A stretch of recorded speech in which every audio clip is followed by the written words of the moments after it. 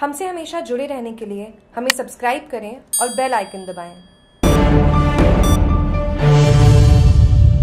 Sojat road के निकटवर्ती बोरंडी बेरा समदड़ा में कुएँ के मलबे में दबे नरेंद्र के शव को निकालने के लिए आज रेस्क्यू के 21वें दिन भी आर्मी के major Manish Sojat DYSP doctor Hemant Kumar Jakhar के सुपरविजन में युद्ध स्तर पर रेस्क्यू जारी है।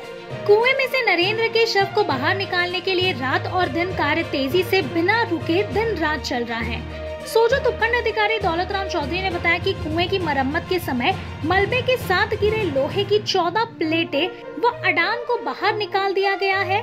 मगर अभी भी बड़े बड़े पत्थर कुएँ के अंदर से निकाल रहे हैं। इसका अंदाज़ा नहीं लगाया जा सकता। 140 फीट कुएँ की खुदाई हो चुकी है।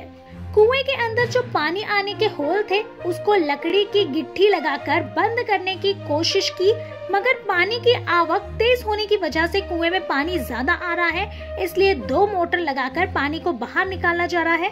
उसके बाद में बड़े बड़े पत्थर निकाले जा रहे हैं।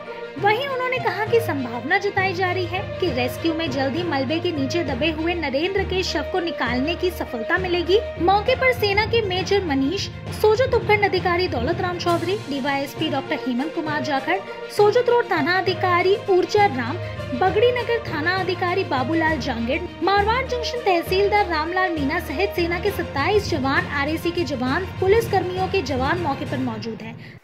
देखिए, बाहर नहीं आने का कारण तो ये है कि ये कुआ ऊपर से कच्चा था, पहले तो मिट्टी हटाई, उसके बाद से एक एक तरीके से कुएँ को नए सिरे से खोद रहे हैं।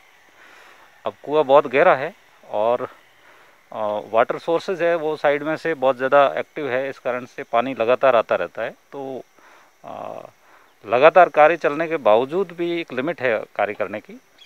अपेक्षा करते हैं जल्दी ही रिकवर करने में कामयाब होंगे।